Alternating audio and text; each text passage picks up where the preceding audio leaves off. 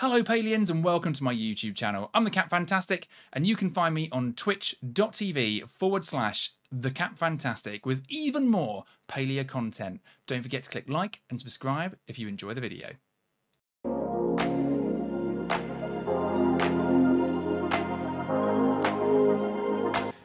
So, when you get into advanced gardening, and this is not a beginner's guide, so you need to have all nine of your garden plots to really maximize this.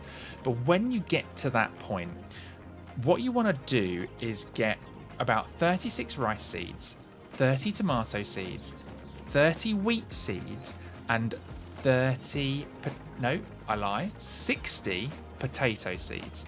And you're going to start laying out like this. So the first row, if we start over here on the left, you're going to go tomato, potato, tomato, potato, tomato, potato, tomato, potato, tomato.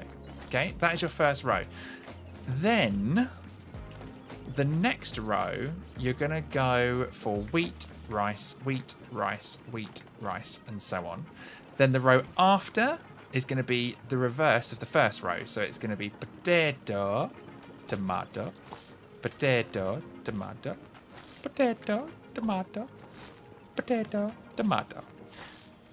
And then the row after that effectively repeats this first plot. So if you're thinking row four is going to match row one, so you're going to go tomato, potato, tomato, potato, tomato, potato, tomato, potato, tomato. And then you're going to go again, matching the first set of three plots. You're going to go for wheat, and then rice, and then wheat, and then rice, and then wheat, rice, so on and so forth. So the next row over matches again the first one.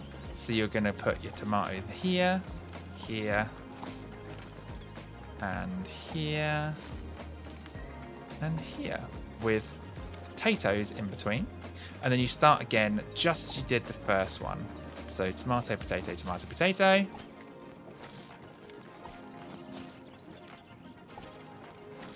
Obviously, this is going to be your wheat, rice, wheat, rice. And then you end slightly differently with tomato, potato, tomato again. Okay, so let's fill out the rest of this with what we need. So your tatty bows are going in between your tomatoes. Tatty, tatty bows.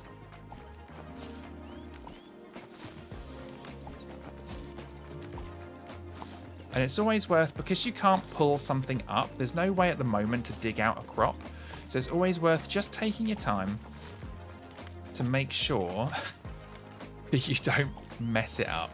So you can go line at a time or a couple of lines at a time and just make sure that your mouse is pointing at the cube that you want before you fill it in.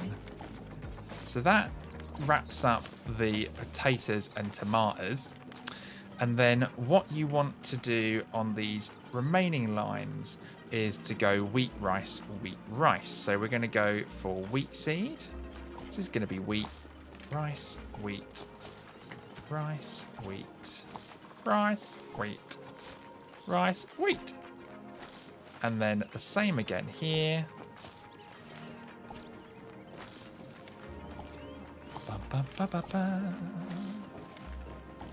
Okay, and again here.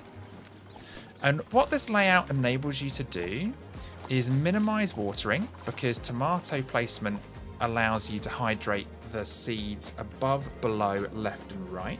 So they will stop needing watering. It also then allows you to kind of maximize the growth of each of the plots or spots on the plots if you prefer and it allows you to kind of maximize the overall produce that you know that you're going to get out with kind of growth bonuses so all of these remaining spaces will be filled with rice now obviously you'll see that I've got quite a bit of remaining seed. That's because the growth rate of these plants is different in terms of the number of days things take to grow. So what you need to bear in mind is that for each Palian day, now Palian days start at 6 a.m. in game and roll through to 6 a.m. the next game day. So you've got basically from 6 a.m. Palian morning to water, weed, tend to your crops until it hits 6 a.m. again. That's a Palian day. And then obviously on some of the days, what you'll find is some of these things are grown, you pick them up and then you replace it with the seed that you've got left over. So just to recap, that's 36 rice seeds, 30 tomato seeds, 30 wheat seeds, and 60 potato seeds. And a full harvest, so a complete clear down of all nine of these plots, will take 10 in game days. So all you've got to do is between 6am and 6am again, the next Palian day, pop back, check that everything's watered, and check that everything is weeded. Now, if you have already upgraded your watering can to the fine watering can, you'll notice you can stand in the middle and water all nine squares at once, which makes watering a lot easier.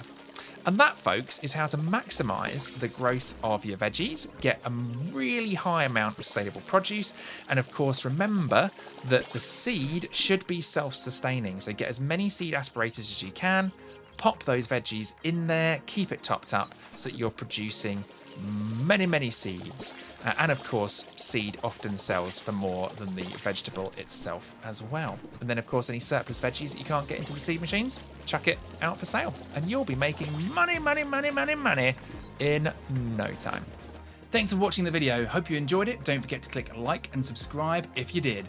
And you can follow me, the Kap Fantastic, across the internet at the Kap Fantastic in all the usual places. See you next time.